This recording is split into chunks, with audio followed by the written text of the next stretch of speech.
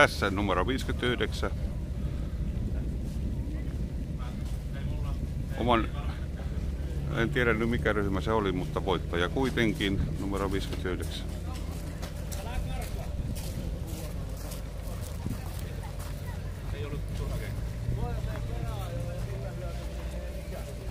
Saako onnitella? Kyllä, kiitos. Onneksi olkoon. Hienoa jo. Ei oikein paremmin olisi mennä. Kiitos. Mitkä on tämmöiset tunteet nyt? Aamusti mietittiin, että kannattaako tämmöisiä keliä lähteä, mutta kyllä se näköjään kannattaa. Yes, Ihan. näin. Ihan hyvä päivä. Kiitos. Kiitos ja onnistu. Kiitos. Joo, olihan tämä kokemus itsellekin, että muistaakseni edellisessä striimissä niin kuvasin tämän moottorinkin ja plus 170 hevosvoimaa ja siinä, siinä se voittaja-auto. Näin. Mennään katsomaan vähän vielä varikon suuntaan ja en tiedä kuinka paljon täällä nyt sitten akku kestää vielä. Onneksi sain ladattua hiukan lisää tätä puhelinta, niin saatiin tämäkin finaali kuvattua ja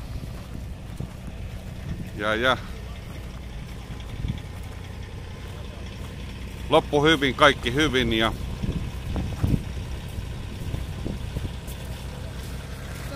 ihan mielenkiintoinen kokemus oli, että ensi kerralla nyt on viisaampi, että ottaa vähän sitten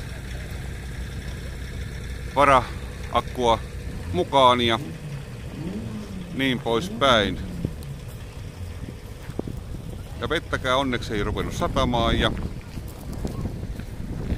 ainakaan mitään vähän kylmä tuuli tässä ollut ja tuuli on varmasti mikrofoniin hiukan ottanut myös, mutta mutta, mutta tämmönen päivä tänään ja toivottavasti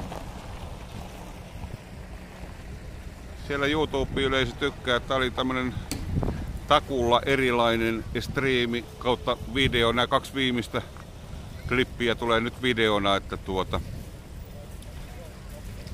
varmuuden vuoksi niin ei lopu se akku sitten niin nopeasti. Mutta oikein paljon kiitoksia kaikille katsojille ja sattaajille ja niin poispäin. Se on täältä Porista Hangassuolta joka mies luokan autojen kilpailusta.